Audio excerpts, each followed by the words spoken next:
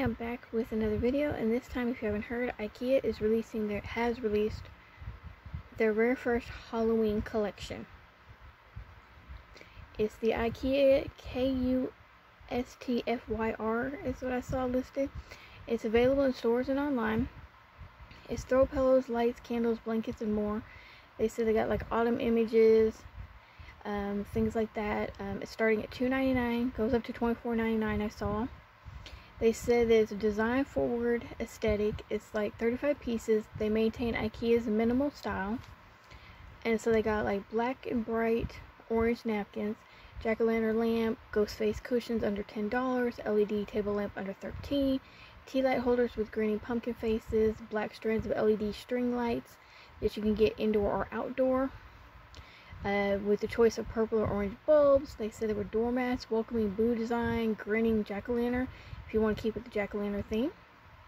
They also said there was a back covered three gallon tote bags which were reusable.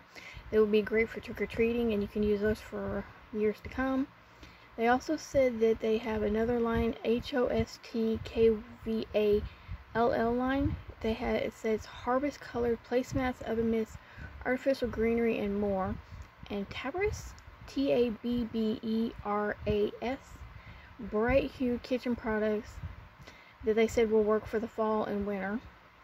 And I did not know, but that they actually released back a few months ago a 70s and 80s collection from something called NYTILL-V-E-R-K-A-D. They said it was a retro themed 70s and 80s that they were releasing phases, that they just started releasing the phases. So I don't know if they're doing that with the Halloween like as they go along, you know, like releasing them now and then releasing more or how they're doing it. But you can get the Halloween collection available in stores or online. I don't know about the 70s and 80s, but you could always check and see about that. Um, if you're interested in any of that. Thank you for watching.